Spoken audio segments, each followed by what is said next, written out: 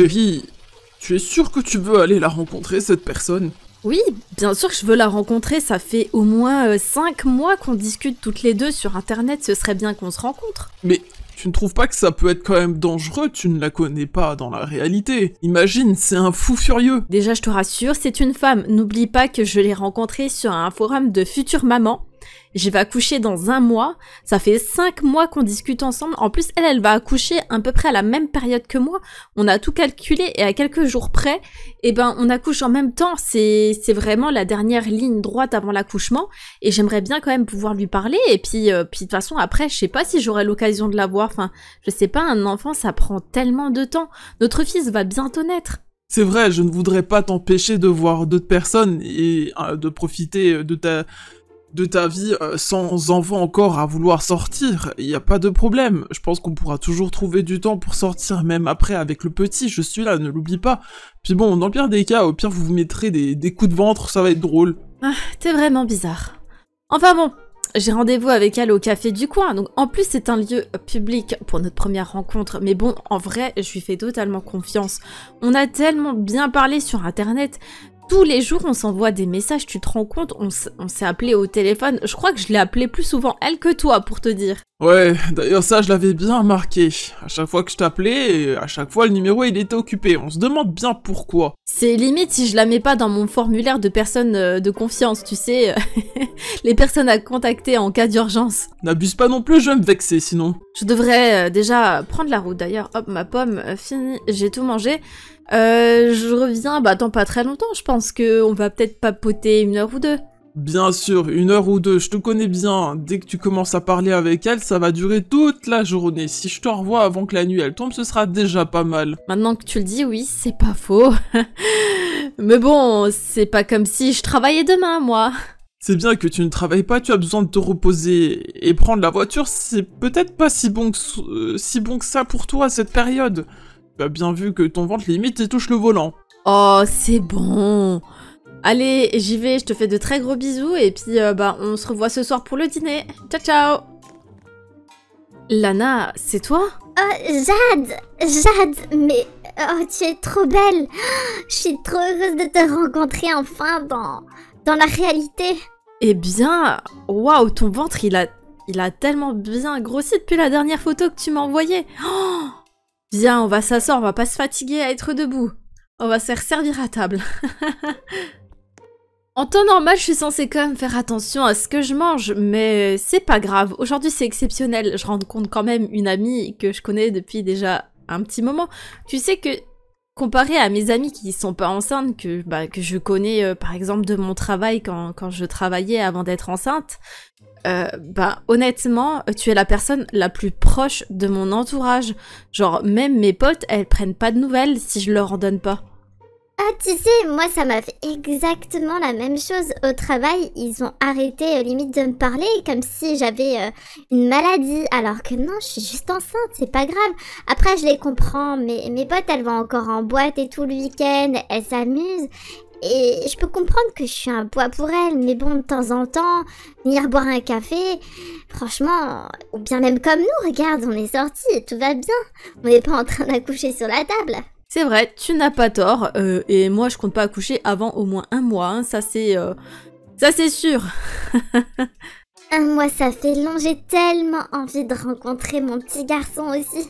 Mais imagine, franchement, on, on a presque le même terme pour l'accouchement, ça veut dire qu'on va presque accoucher en même temps. Imagine, on accouche vraiment en même temps parce que bon, c'est pas forcément programmé le jour même. Ça se on va accoucher un peu avant, un peu après. Et imagine, on accouche en même temps de deux petits garçons. Limite, ce seraient des jumeaux, ils pourraient trop devenir des potes. C'est vrai, en plus, à Brookhaven, il y a de très belles écoles. Alors, j'habite une ville à côté, mais Franchement, euh, ça me dérangerait même pas de déménager dans le coin. Ah ouais, et ton mari, il en pense quoi? Parce que honnêtement, on a vraiment une bonne école ici.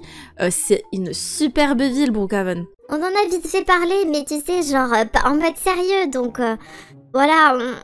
Il a dit oui, mais je pense. Je sais pas si c'était sérieux ou il m'a juste dit ça pour un peu genre rigoler parce qu'il pensait que on parlait pas sérieusement, je sais pas, mais bon, t'inquiète pas, je vais travailler au corps et puis il va finir par accepter. Je n'ai pas vu l'heure passer, il est quand même assez tard, je vais quand même lui envoyer un message pour savoir c'est quand qu'elle rentre. Bon, je vais pas m'inquiéter, je sais qu'elle aime bien parler, et puis surtout si c'est une amie que ça fait longtemps qu'elle voulait voir, ça va prendre encore toute la nuit, mais il faut qu'elle rentre et qu'elle se repose quand même. La date du terme est dans un petit peu moins d'un mois quand même. Il faut quand même qu'elle prenne du temps pour elle et qu'elle se pose un petit peu. Oh, excuse-moi, j'ai reçu un message. Ah, mais c'est mon chéri. Oh, mais je n'ai pas vu l'heure. Je suis désolée, euh, mais il va falloir que je rentre. mais y a pas de souci, Jade, je comprends même moi. Je sais pas, j'ai pas vu l'heure aussi, mais en même temps parler avec toi. Le temps il passe et on le remarque même pas. J'ai vu que tu étais là, mais je n'ai pas vu de voiture. Est-ce que tu es venu à pied? Je suis arrivée en métro, donc euh, il va falloir juste que je repasse par le métro. J'espère qu'il y a encore un, un train qui va jusqu'à ma ville? Quoi, tu es venu en métro? La journée ça va, mais le soir ça craint un peu. Non, non, non, non, je vais pas te laisser rentrer chez toi. Euh, comme ça, alors, euh, je te propose euh, de rester dormir chez moi pour cette nuit. Et soit demain matin, tu reprendras le, métro, je t'amènerai sur place, soit si tu veux, je peux t'amener. Tu m'as dit c'est la ville à côté, donc c'est pas très très loin. Non, mais je voudrais certainement pas m'imposer chez toi, c'est... Oh non, non, non, non. Non mais Lana, j'insiste, je peux pas te laisser repartir à cette heure-ci prendre le métro. C'est trop dangereux. Bon, d'accord, d'accord, mais demain matin, à la première heure, euh, je m'en irai.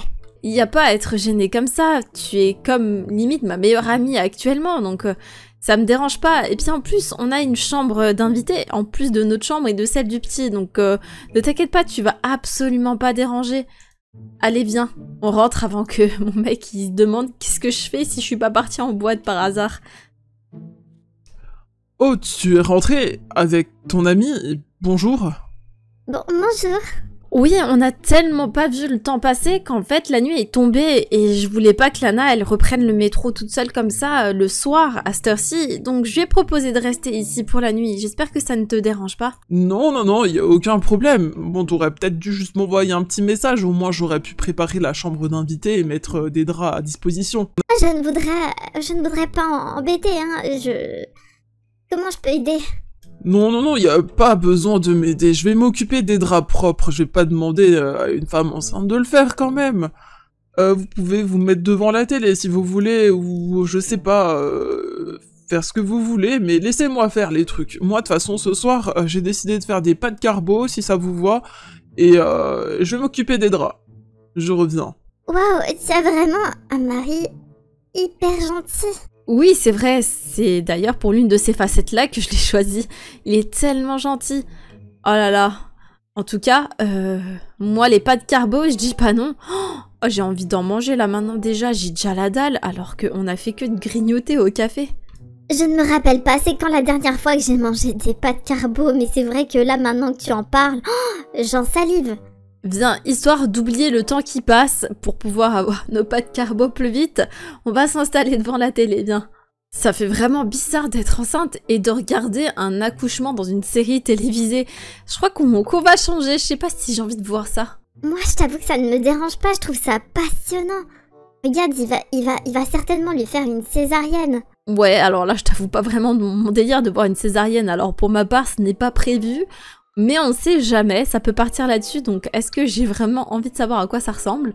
Ça va bientôt être prêt, les filles Et en plus, juste avant de manger des pâtes carbo, je vais avoir des sales images dans ma tête. Vas-y, viens, on éteint la télé et puis on, on va déjà se mettre à table. Alors, tu l'as trouvée comment, ma pote? Franchement, elle est sympa. Je la trouve quand même un petit peu discrète et j'ai l'impression que certaines de mes questions l'ont mis mal à l'aise. Mais je pense que c'est parce qu'on ne se connaît pas. Oui, c'est vrai, maintenant que tu dis, euh, c'est vrai qu'elle a esquivé certaines questions, mais bon, je pense que c'est surtout parce que elle est dans un environnement qu'elle ne connaît pas, imagine là, elle est là, c'est aussi la première fois qu'elle me voit en vrai, et puis je lui ai demandé Oh, tu penses peut-être que je n'aurais pas dû lui proposer de rester ici? Peut-être qu'elle s'est sentie obligée de me dire oui et que maintenant elle est, gênée. Je sais pas, elle se sent peut-être pas en sécurité ici. Non, je ne pense pas. C'est juste ma présence. Je pense qu'elle n'est peut-être pas euh, habituée et elle ne me connaît pas, c'est normal, mais euh, sinon à part ça, franchement, elle est super sympa. Et puis, euh, elle a l'air cool quand même, et puis ultra douce. Ah, ouais, c'est vrai, c'est vrai. Allez, au dodo chérie. C'est parti, c'est parti. Je suis fatiguée.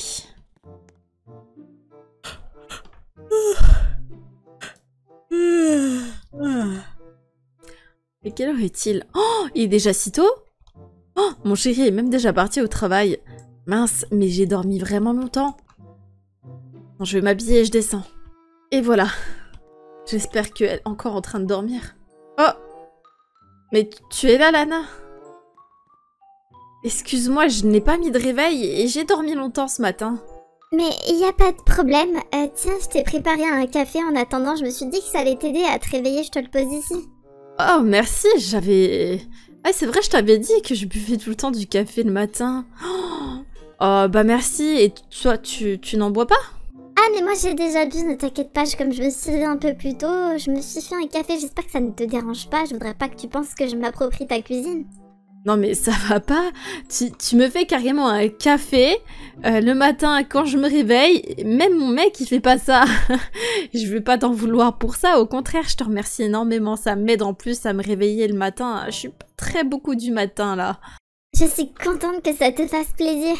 Je te remercie pour le café. Je vais juste chercher les clés de la voiture et puis je vais t'amener euh, au métro. J'arrive. D'accord, et profite de boire le café pendant qu'il est chaud.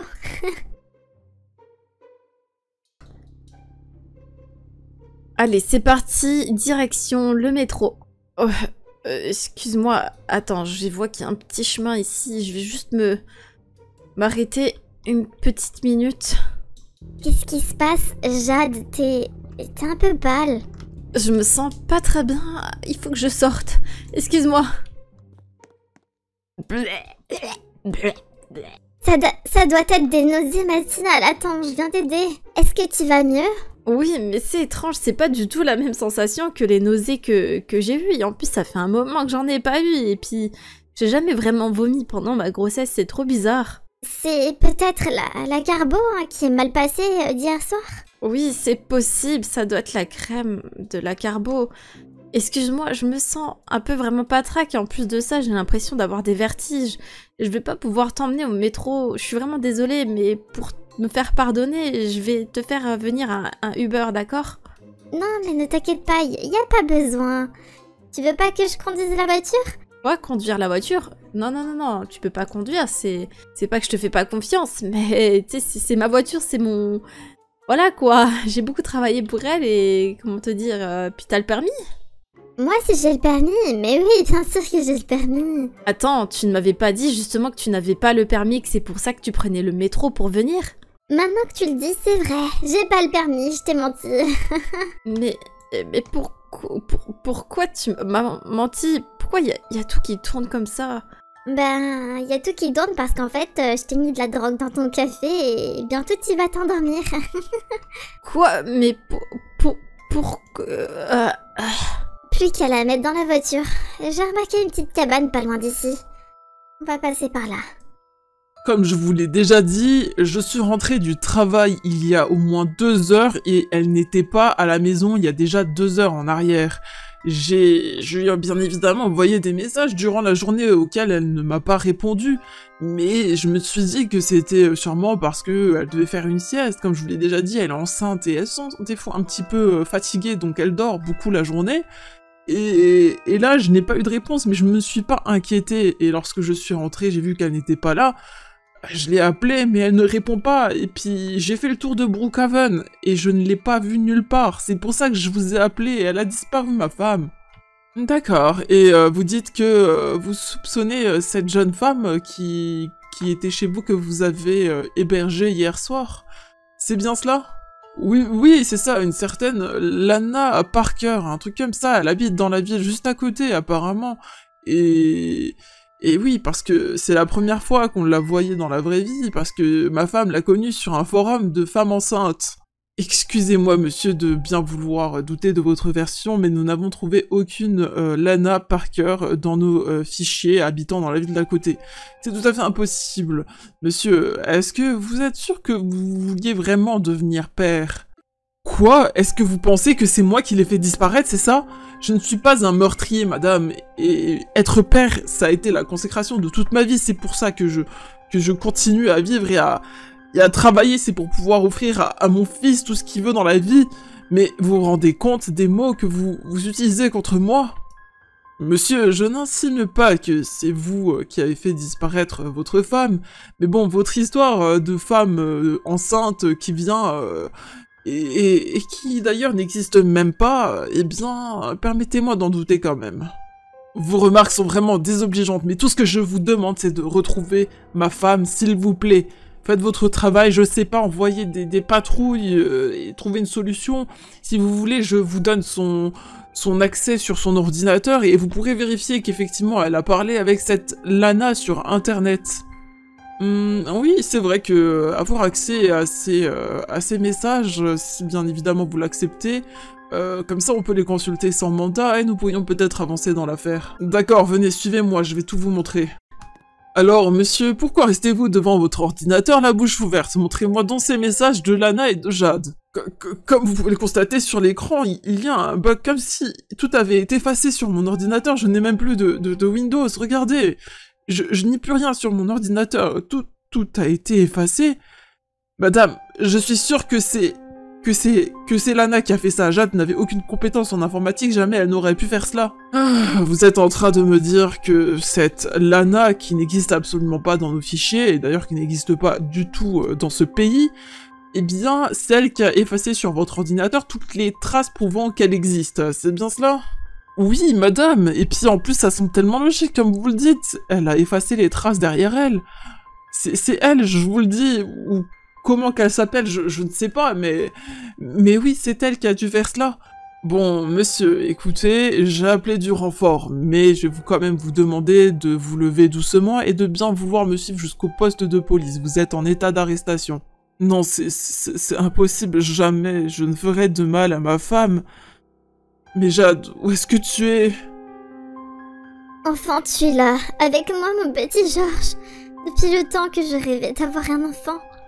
Et maintenant, grâce à toi, Jade, je te remercie. Il est vraiment beau. Ah oui, c'est vrai, tu ne peux pas me répondre. je vais enfin pouvoir arrêter de porter ce faux ventre. Et puis, mon mari qui m'attend à la maison, je vais devoir lui dire que j'ai accouché un petit peu plus tôt que prévu. Mais bon, l'occasion s'est présentée, ça a été tellement facile. Allez Georges, viens avec moi, on rentre à la maison. Et voilà, Georges, ne t'inquiète pas, on n'habite pas très très loin d'ici. Allez, on va y aller. Laissez-moi sortir puisque je vous ai dit que je n'ai pas fait de mal à ma femme. Et il faut la retrouver et elle est enceinte. Je ne sais pas où elle. Laissez-moi sortir, au moins que je puisse moi la chercher si vous voulez pas me croire. Laissez-moi, euh, je sais pas, aller la chercher par moi-même. S'il vous plaît. Ici, l'agent Lopez, je vous reçois 5 sur 5. Qu'est-ce qui se passe? Une femme a été interpellée euh, juste dans la ville d'à côté. Son mari l'a dénoncée. Elle était rentrée avec plein de sang sur elle et, et un nouveau-né. Il a dit qu'effectivement sa femme était euh, bien enceinte, mais que c'était vraiment étrange puisque elle était vraiment rentrée avec plein de sang sur elle. Donc euh, on a bien évidemment fait des tests ADN et il s'avère que cet enfant, ce bébé, ne leur, euh, correspond pas à leur ADN à eux.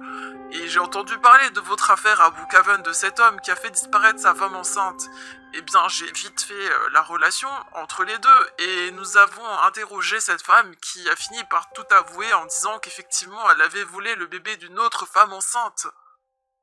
Vous êtes en train de me dire que l'homme que nous avons interpellé, le mari de la victime donc, n'a rien à voir à faire avec cette histoire et que lui aussi est une victime et est-ce que elle a dit où était euh, la femme? Je suppose qu'elle est décédée suite à cela. Surprise, nous sommes arrivés sur place dans une cabane abandonnée de Brookhaven et nous avons retrouvé euh, la femme euh, qui était initialement enceinte de ce bébé et il s'avère qu'elle a survécu, elle a perdu énormément de sang, elle est actuellement à l'hôpital de Brookhaven. Vous pouvez en informer son mari et le libérer optionnellement. je dis ça, je ne dis rien. Oui, oui, bien sûr, je vais tout de suite aller l'en informer et je vais l'amener directement moi-même. Euh, je vais l'escorter jusqu'à l'hôpital de Brookhaven. Terminé. Jade Jade, comment, comment est-ce que tu vas? Est-ce que tu vas bien? Chut, parle-moi fort, tu vois bien qu'il essaye de s'endormir. Je croyais que je vous avais perdu à tout jamais. Mais vous êtes là. Oui, et nous allons bien. J'ai perdu du sang, mais j'ai été transfusée. Et maintenant, ça va mieux. Je me sens bien. En plus, quand je vois notre fils, il me donne tellement d'énergie quand je le vois. J'ai juste envie qu'on parte d'ici et qu'on rentre à la maison avec lui. Ça me rassure vraiment, merci, Jade. Tu es tellement forte et courageuse, mais... On ne risque pas de rentrer aujourd'hui suite à ce qui s'est produit. Il va falloir que tu restes quelques jours à l'hôpital encore. D'ailleurs, ils m'ont dit que Lana avait quand même fait du travail de pro. L'incision qu'elle a fait pour retirer Georges de mon ventre. Enfin, du coup, Georges. Il faut lui changer de prénom, hein, puisque ça ne va pas le faire. On va pas l'appeler comme elle l'a appelé.